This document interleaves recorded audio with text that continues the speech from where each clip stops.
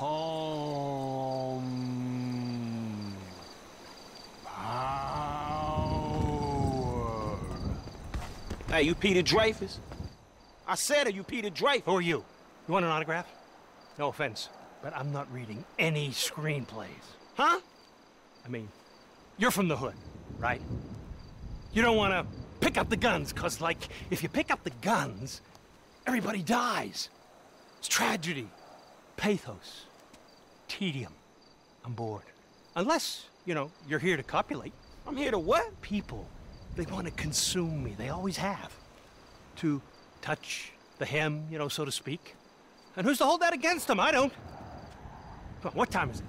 I got a few minutes before my colonic, you know, if you want to suck me off, I wouldn't mind. Motherfucker, do I look like I'm here to suck you off? I don't know what you're here for, chum.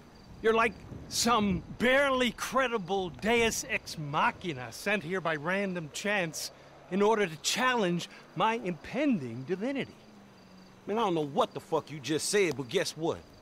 I'm here for this, chum. Hey, what's this about? Do you know her? Security? What's her name? Security, this guy's trying to rape me! Leonora Johnson.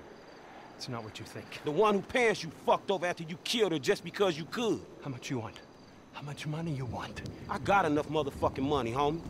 I'm famous. Fuck you! I can do whatever I want. Those are the rules, civilian! Get away from me! I'm an artist! I'm not bound by the... Oh, shit! My tires have blown! Dreyfuss, get the fuck back here! Go to... Hell, you ignoramus! Do you want to die slow like she did? I have the body of a 25-year... Ah! Oh, Jesus! Oh, help! He's trying to kill me! Say hello to Leonora, motherfucker.